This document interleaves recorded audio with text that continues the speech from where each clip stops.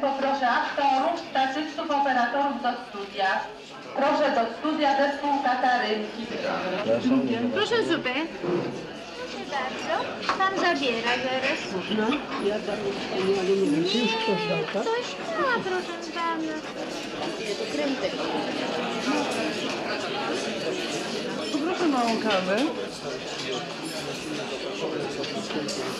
począwszy od, od tego dźwięku, który był na scenie z Kijewskim, y, aż do końca na następnej scenie na tych zakochanych. Ale nie, nie, na telerekordingu y, Jelek Nie dlatego, że on jedzie do Paryża i do Londynu, nie. Chociaż też pojechałbym z nim. Ja rozmawiałem z Masłowskim i proszę Ciebie, on mówił mi, że wówczas grał y, w tej pierwszej wersji jakiś aktor, który jest, który wówczas zdaje się był siódma w teatrze siódma piosenka. Kolega Małgorzata, proszony do reżyserki. Tak, do studia prosimy, prosimy do studia. A Kowalczyk nie go do zakwalifikowania. Trzy Prosimy garderoby, palto i kapelusz pana Kijewskiego. Bo ja bym chciał, Joasiu kochana, chciałbym, żeby tak, tak, ja zapalam papierosa, Tak? puszczam tę zapałkę, robię to i teraz piosenkę śpiewam. Jak piosenka fal, gdzie sekwany liśnie toń, nieby gwar na plac Pigal, niczym szept Bois de Boulogne. Odjeżdżajmy do pełnego planu, w który i on śpiewający piosenkę na, na pełnej- wytrzymamy z tą I wytrzymać z latarnią i na refrenie zacząć odjeżdżać. To, co mówi, dać tak blisko, a potem na refrenie... A potem na refrenie zacząć odjeżdżać, żeby pokazać pełną perspektywę uliczki i pokazać jego stojącego w tył.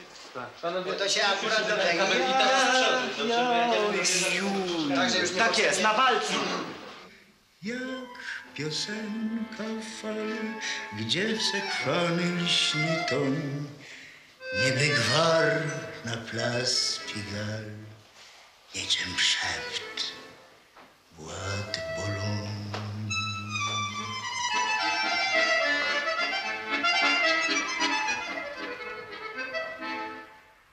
Ola tak rzeczywiście myślała, że spali. Bo samolot zawadzi. Do studia prosimy, prosimy do studia. Teraz Stasiu, Białek. Popatrz, po tej, to jest po tej piosence, jest potem zapowiedź, jest potem zapowiedź pan Kydryński. Czekaj, wiem, może tutaj rzeczywiście nie pchać tego do baru, tylko żebyś ty tam zrobił. powinieneś stać. Wiesz co? Gdzie się? Tutaj zrobimy tą ostatnią zapowiedź, dobrze? Załóż. Ja jeszcze pomyślę nad tym, tylko ustawię tą piosenkę i zaraz zrobimy całość z zapowiedziami ze wszystkim. Pokaż mi panie. Wiesiu, odsuń się. Trójkę pokaż. Tak, Iga. Tak, ale ty w razie tak, po, pójdziesz tam. Marian, albo wskoczysz przez okno tam, dobrze? Tak. Teraz pan Ludkiewicz będzie stąd, tak? Ale musimy być razem Olga do tego, słuchajcie. Będziecie, zaraz ja tylko robię początek, począteczek sam. Wiesiu, uważaj. Ty, jedynka, tak. Nie ma zapowiedzi. Od razu, pamiętajcie, kończy tutaj pan piosenkę, a tu jest z tej strony od razu jedynkę, jedynkę proszę. Co? Tak? Co? Dlaczego za dwie minuty? Pani Olgo, nie ma tu ostatniego wejścia. Jest wejście, o Jezus Maria, cudownie, jest wejście przed tą piosenką. I jedynka wy, wyciąga e, gołasa. Proszę, jedziemy. Proszę!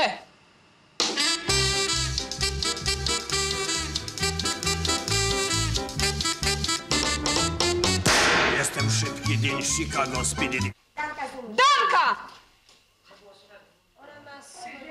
Przecież jak chłopcy znikają, to dajesz mi na chwilę trójkę, potem wracasz na jedynkę. To się musi dziać błyskawicznie. Nie! Przed strzałem.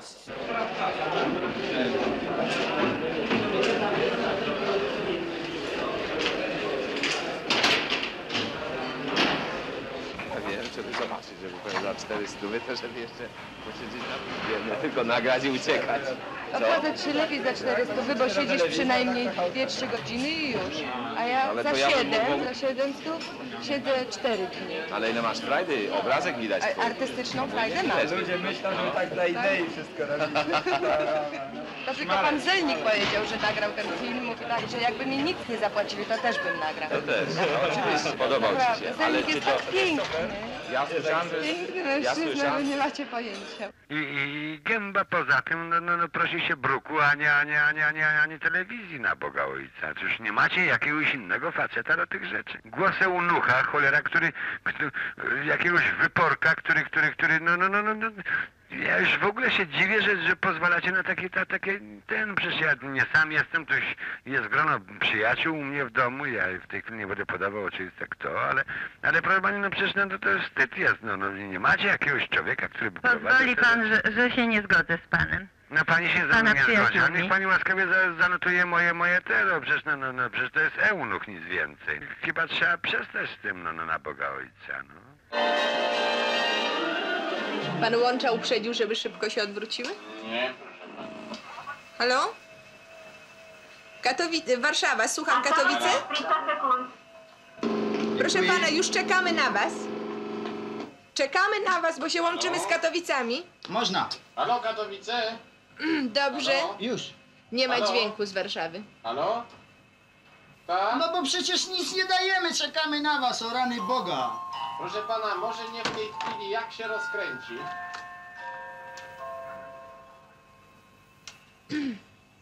Uważajcie, jak dostaniecie ten. Halo? Czy pan może mi dać jeszcze raz końcówkę? Nie wiadomo, kiedy komentator zacznie mówić? No chyba zacznie mówić, jak będzie mówił tam sprawozdawca. Ipswich, Bury.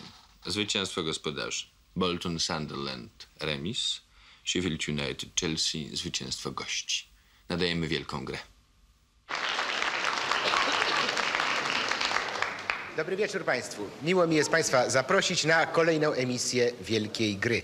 Zapewne od samego początku chcieliby Państwo wiedzieć, czy czekają Państwa dzisiaj wielkie emocje. No cóż, w każdym razie gra się odbędzie. Ja tu jako telewidz właśnie zgłaszam. Nie zgadzam się z prowadzeniem dzisiejszych zawodów. Jeden mówi, że Meksyk leży na takiej wysokości, pan Serafinowicz od razu prostuje. I drugi trafia inną i trafia. Czyli przeciwnikowi daje znać, mów inną odpowiedź. Jak kwestionuje ten turniej? Obserwujemy sobie bardzo milutko tą, tą konkurencję sportową i uważamy, że jednego z panów skrzywdzono, proszę pani. Dostał pytanka, pięć punktów mniej zarobił. Bo oni pomylili się wszyscy, i Serafinowicz, i cała ta komisja, te całe jury dzisiejsze. Pięć punktów temu chłopakowi zabrali w poprzednim grze.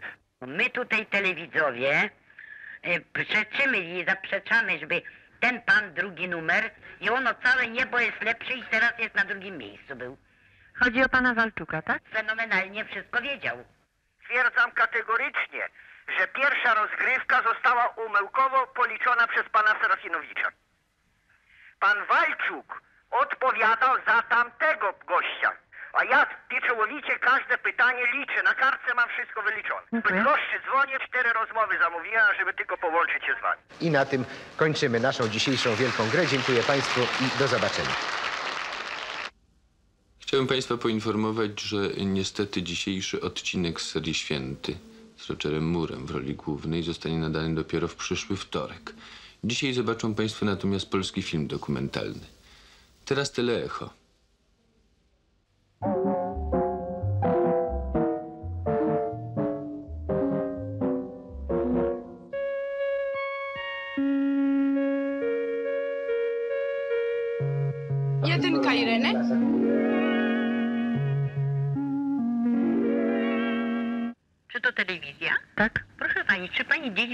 Za mąż? Proszę pani, naprawdę się nie orientuję. Nie wie pani, a kto by mógł, by mógł powiedzieć? No nie wiem, czy ktokolwiek może udzielać pani takich informacji. Nie interesuje mnie to, No proszę to pani. bardzo nieładnie z pani strony, że pani nie chce powiedzieć. Mnie to po prostu nie interesuje. No, szkoda wielka. Żebyśmy raz usłyszeli słowo przepraszam za zmianę programu, czy przepraszam za coś. Czy w telewizji nie istnieje takie słowo? Także dziś nie będzie Rogera Mura. Proszę powiedzieć, mm, ilu was było, ilu was jest? Na samym początku, rok 46 to około 2000. Dzisiaj nasza organizacja liczy przeszło 9 tysięcy osób. Wczoraj nie było y, broszka, dzisiaj nie ma świętego, a zapowiadało się przecież, że dalej zakupiony jest. Tak byle co dawać, to już naprawdę, za, bo to jest byle co dla nas. To jest po prostu zapychanie dziur. A kto tam poluje w tych lasach? Myśliwi z całej Europy. To jest tak To zwane jest- polowania dewizowe, tak? Tak, to jest nadleśnictwo, w którym się odbywają polowania dewizowe. Czy pani przypadkiem y, nie mogłaby mi podać numeru telefonu do pana Sokorskiego? A mi się Niestety. wydaje, że obywatel chyba ma prawo mm, zadzwonić do drugiego obywatela. Żeby to wstrząsnąć sumieniem obywatelskim tego człowieka. Nie ciesz się, nie ciesz się, nie ma z czego. Masz fantazję kto. Miałam cię jednak za mądrzejszego. Przykro mi, muszę dziś cofnąć to. Nie ciesz się, nie ciesz się, nie obracaj w żart. To naprawdę nie bawisz mnie. Żegnaj mi, zamknij drzwi z tamtej strony. Miejsce twe zajął ktoś, pociesz się. Wysiadł nam wels i nie mamy podglądu. Nic, ja nie mam nic, złącz nic nie otrzymuję. Panowie, ja nic złącz nie otrzymuję. Zerwanie sygnału. Sieć wysiadła na pewno. Koniec. No nie wiem, nie mam nic. Nie wiem co robić. Zobacz, sieć wysiadła. Nie, w porządku. Czy, czy łącza dają sygnał? Niech się pan Kędzierski spyta na łącza, czy otrzymuje sygnał. Edyta? Ja nie mam sieci. Edyta? Wels mi wyskoczył. Co u ciebie słychać po wysokim? No to chodź zobacz, u mnie też nic nie ma, no. Czy jest tam Edyta? Edyta, proszę do spikerki. Co u ciebie Andrzej słychać? Nadajnik wyleciał. Jak to nadajnik wyleciał? Przecież sieci w ogóle nie mam nigdzie. Edyta? Aha. No jak Jurek? Nie wiem, nie mogę ustalić. Na razie sieci u mnie nie ma. Ale co ja mam robić? Powiedzcie mi, co ja mam robić w tej sytuacji. No Dobra, proszę, ale proszę przepraszam. dać planszę. Przepraszamy za usterki. W porządku? Czy u was w porządku? Tak. Ale co, bufor szykujemy, czy zapowiedź edyty? No przecież trzeba coś zrobić chyba. Żadnego buforu nie będzie, bo be- potem wejdziemy na dziennik od razu. Już się zbliża czas programowy na dziennik. Proszę dać planszę za chwilę y, ten, usterki. Dobra. Ja nie mam sygnału w Warszawie. Edyta? Nie. Kurczę blade, no nic nie widać, a tutaj No nie też ma, no, nie ma nic, nigdzie nie ma. Czy tak No to jak nie może? Edyta, czy jesteś w studio? Zadzwoń do mnie. No już wszystko w porządku, ja mam sygnał, złącz, jadę dalej. Dobra. Jak to? To ja dzwonię, a ty nic nie słyszysz? No matko boska. Nie mam pojęcia. No fajnie, a tu po wysokiej na naszym. No dobrze, dziękuję ci. Oj, kogotka kochana, zobacz, te jakaś już gotowały. Bo mi się przypomniało, że jestem okropnie głodny. Jajko na twardo, zaraz będzie jadł. Twój głodny brat, twój głodny brat. Zielone piegi, żółte jajko ma. Zjem je raz, dwa, zjem je raz, dwa. Pam, pam, para, pam, pam, bra, bra. Pam, pam, ram, ja, pam, ram, ha.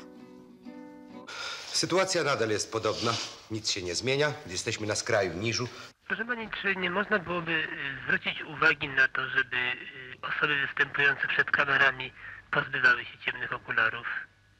To nie jest on jeden, to co się zaczyna robić nagminne, że wszyscy, którzy występują, zaczynają się chować za czarnymi okularami. Może tracą wzrok? To trzeba się zastanowić nad warunkami BHP pracy w telewizji.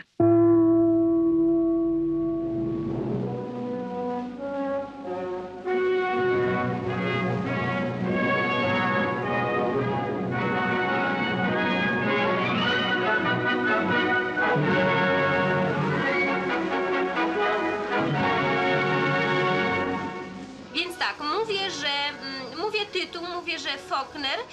Y, opuszczam tylko adaptację i tłumaczenie, podaję natomiast reżyserię panią Warszawa, dobra, słowo wstępne sekundę, i że zaraz od wam lat powiem. 16. Czekać, proszę czekać. Jeszcze czekać. Tak, tak. Edmund Fetting i Mariusz Dmochowski. Dobra, dziękuję ślicznie. Do No to widzenia. Zaczynajcie, jesteście na antenie.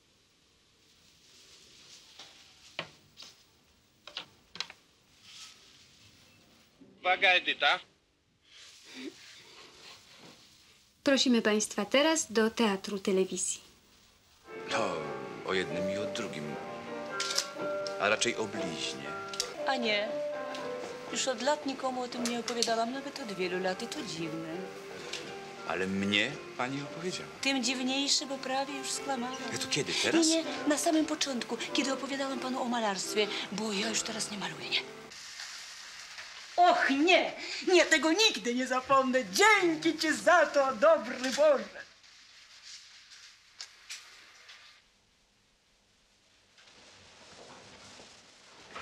A Charlie też się boi? O nie, ona się nie boi niczego. Ona jest bardziej mężczyzną niż ja sam. Słyszałam, jak lekarze mówili, że instrumenty nieodkażone. Doktor Richardson sądzi, że były wysterylizowane na pewno. Ten człowiek pracował w renomowanym szpitalu. Ale doktor Richardson to artysta, co? Tak.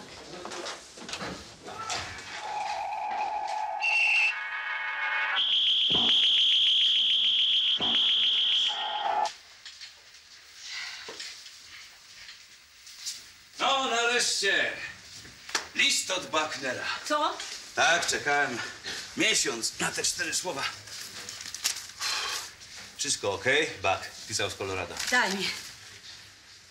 Wszystko okej, Buck. Telewizja? Tak. Chciałem się dowiedzieć, bo obraz idzie, tylko niestety nic nie słychać. Przypuszczam, że to jest wina pańskiego aparatu. Nie, proszę pani, to nie wina mojego aparatu. Ja dzwoniłem, proszę pani, do znajomych na polskiej linii.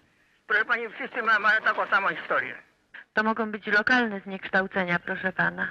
Proszę pani, odpowiedzialny człowiek gdzieś po prostu będzie poszedł sobie na kawę i wcale się nie interesuje tam, jak to, jak to jest z tym głosem. To telewizja? Tak. Co to za panialuki państwo puszczacie na ekran? Przecież to w ogóle nie można zrozumieć. W XX wieku, żeby takie banialuki puszczać? Dla publiczności? Już dawno takiego dobrego programu w telewizji nie było. Pod każdym względem jest dobry. Ja jestem po prostu wzruszona. I temat jest świetny, i aktorzy są znakomici, i reżyseria. To jest naprawdę wielka przyjemność, prawdziwa uczta. No jakżeż można, prawda? I taka imitacja nędzna jakiegoś Antonioniego, który tak już jest dawno niemodny, już, już nikt go nie ogląda, już nie nakręcają takich filmów, tam skąd one przyszły. Ja, wie pani, naprawdę niezrozumiała jest polityka telewizji. A, pani, a co się stało z tym świętym? Czy go w ogóle już nigdy nie będzie? Dzisiaj miał być, ale... Ale, ale jest to. Charlotte, pozwól do nas na chwilę. tak, idę, idę. Zostań na nim, na nim, bo ona straszne miny robi, jak odchodzi. Wygupią, wygupią. Charlotte, proszę jesteś o zabranie głosu. Mochowskiego, tnij go troszkę sprawy jeszcze więcej. Niech pan przyjdzie własnym ubraniu. Chce Dobra, ona zaraz ci wejdzie w ujęcie. Ostrość trójka. Ostrość trójka. Na zakończenie posłuchamy utworu Edwarda Griga, Motylek i tym kończymy program dzisiejszy, życząc Państwu dobrej nocy. Dobranoc. No jak tam? A, Tuszy. Halo, Tuszy, no to nic, niech pan powie ze swojego punktu widzenia, jak tam wszystko doleciało. Dobranoc Pani Proszę Basiu. Jurek, a propos wyjścia, jest samochód zamówiony, wiesz coś o ten temat? Tak, jest zamówiony, zaraz będzie. Gdzie jedziesz dzisiaj? To ja będę pierwszy na Mokotę. Ale łącza? 012, koniec, dziękuję, Aha. do jutra.